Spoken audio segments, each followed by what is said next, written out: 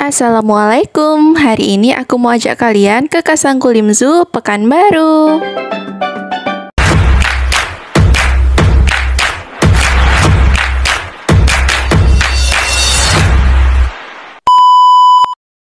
Kami udah masuk ke dalam kebun binatangnya. By the way, harga tiket di sini itu 25.000 satu orang dan untuk anak kecilnya itu 20.000. Nah, di sini pertama kali kita masuk ini ada yang menyambut nih ayam-ayam apa nih? Ayam kalkun. Ya, ini ada beberapa ayam kalkun di sini. Ayamnya tuh kayak keheranan gitu. Siapa kalian? Siapa kalian? Ada apa kalian datang ke sini? Ha, sana pergi. Aku tidak mau dilihat dengan kalian. Gitu kali ya dalam pikirannya. Setelah lihat ayam kalkun selanjutnya ini kita lihat buaya. Tapi buayanya di sini diam aja nggak mau bergerak. Dan ini airnya memang warnanya kayak gini ya. Serius ini di dalam sini tuh ada sekitar tiga yang kelihatan. Nah, di ujung sana tuh ada yang lagi mangap. Kenapa mangap? Kelaparan, lapar, belum makan.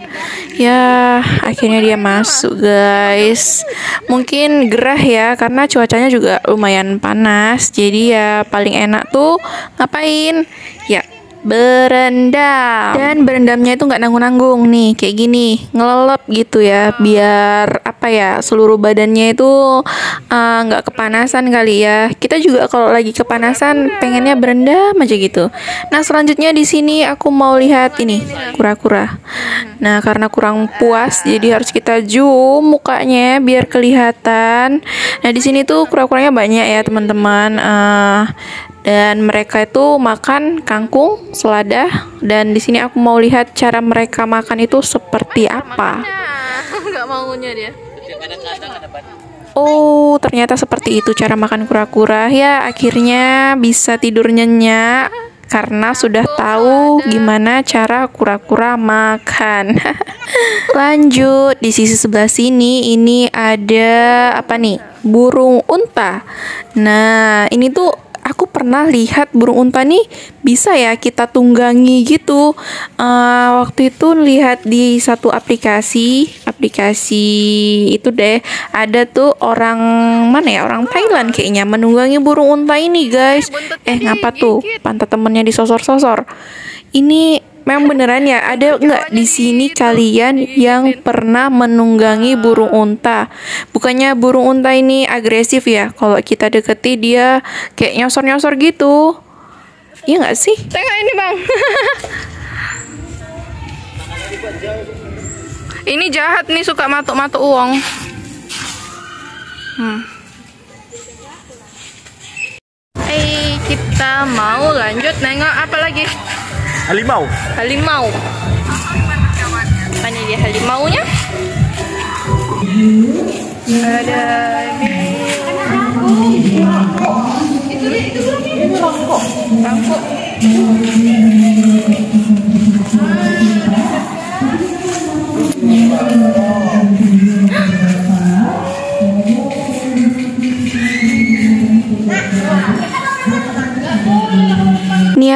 Mau lihat harimau, tapi di sepanjang perjalanan menuju ke kandangnya, ini tuh masih banyak lagi hewan-hewan yang nggak boleh terlewatkan. Nah, di sini tuh di kanan kiri jalan itu ada banyak burung teman-teman dengan berbagai jenis. Nah, di sini tuh aku seneng banget lihat ini dua sejoli ini.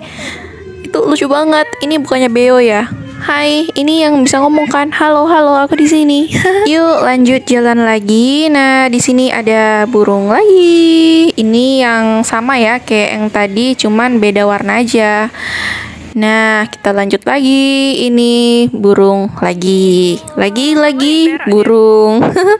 Dari tadi di sepanjang perjalanan yang kita lihat di kanan dan kiri itu kebanyakan burung ya, teman-teman, dengan berbagai jenis. Nah, ini apa nih? Burung elang ya? Mirip-mirip burung elang. Tapi kayaknya memang elang sih. Terus juga di sebelah sini ada burung lagi. Lagi-lagi burung. Iya ini dia. Eh tunggu. Tulisannya gagak merah. Kok dalamnya burung ini? Ini beneran gagak merah? Hah? Serius Dah lah lanjut aja. Nah, ini di sampingnya ada burung lagi. Nah, di sini tuh burungnya ada kayak tempat ini ya, aliran airnya biar dia bisa mandi gitu ya. Nah, lanjut kita ke sini. Ini apa nih? Ini kesukaan kalian ini kan. Ini siapa? Teman kalian? Ayo kita kenalan dulu sama dia. Nah, di sini tuh keponakan aku udah nggak sabar dia duluan. Nah, tuh tuh tuh. Hai guys. Lagi apa guys? Hei. Woi.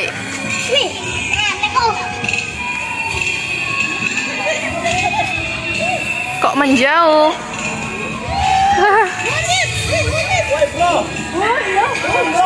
Hai bro, WhatsApp bro, WhatsApp.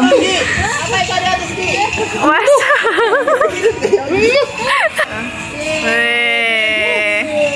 Cuma mau ngasih makanannya. Apa? Hai kawan, gitu Pano. Ya, selesai menyapa teman-teman, mari kita lanjut. Ini di sini ada ular dan lagi-lagi tuh ularnya pada berendam ya teman-teman. Semua hewan di sini tuh kayaknya seneng banget sama yang namanya air. Karena cuaca di Pekanbaru ini belakangan ini panas. Nah, di sini tuh ada tempat bermain ternyata ya. Ada wahana-wahana untuk anak-anak bermain gitu. Oke, lanjut di ujung sebelah sana. Mana? Sebelah mana sih? Oh, ini kita perlihatkan. Ini apa nih? Binturong. Ini binturong. Ya kali, binturong.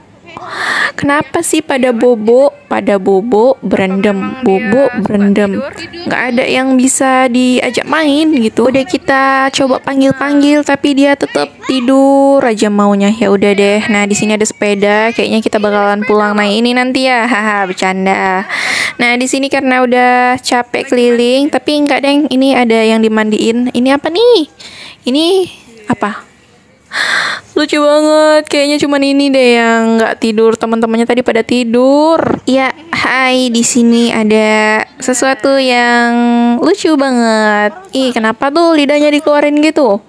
Apakah dia haus atau lapar? Soalnya di sini kayaknya nggak boleh kita ngasih-ngasih makan binatang-binatang yang ada di sini ya.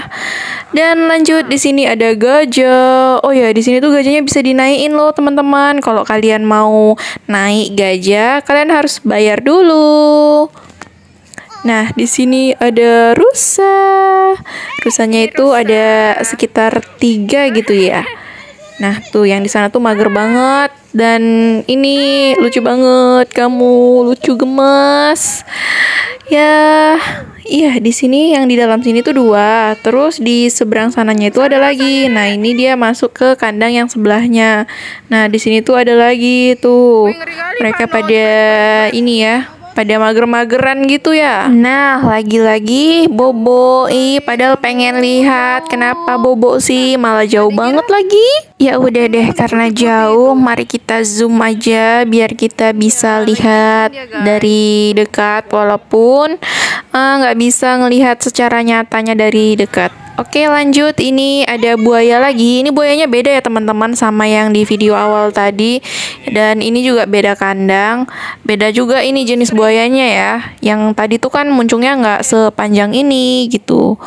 Nah di sini tuh buayanya mager juga ya. Tapi aku rasa yang ini nggak doyan berendam Nah, di sini ada teman kalian lagi, teman-teman. Nah, di sini tuh uh, monyetnya lebih kecil dari yang tadi ya, karena beda jenis tapi masih satu spesies. Sebenarnya nih ya, sebenarnya itu kurang puas banget gitu ngelihat binatang-binatang yang ada di sini. Karena apa? Karena kandangnya itu uh, jerja jerjanya itu terlalu rapat-rapat gitu. Jadi kalau mau lihat mereka secara uh, secara apa ya? Secara jelas gitu, kita harus uh, ngezoom dari HP. Jadi kita bisa lihatnya dari HP gitu yang jelas. Kalau lihat secara langsung gini kayaknya kurang jelas ya atau mungkin biar supaya nggak ada orang-orang yang uh, ngasih-ngasih makan sembarangan gitu ya. Nah, di sini ada yang lebih besar lagi teman kita. Dia lagi-lagi mager tidur. Kenapa sih hewan-hewan ini pada tidur semua padahal kan gemas pengen lihat semua. Tapi udahlah, ini kita lanjut. Kita mau lihat uh, landa. Nah, di sini tuh landanya banyak banget ya, teman-teman. Nah, ini uh, alhamdulillah ya, lihat landanya ini secara jelas, tidak ada jerjak-jerjaknya. Jadi kita bisa lihat dari atasnya ini ya, teman-teman.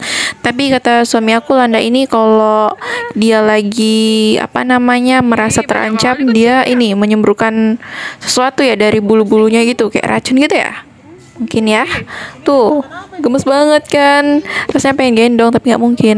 Di sini ada kuda nih teman-teman. Dan lagi-lagi dia berendam. Ya ampun enak banget. Kamu siang-siang gini berendam.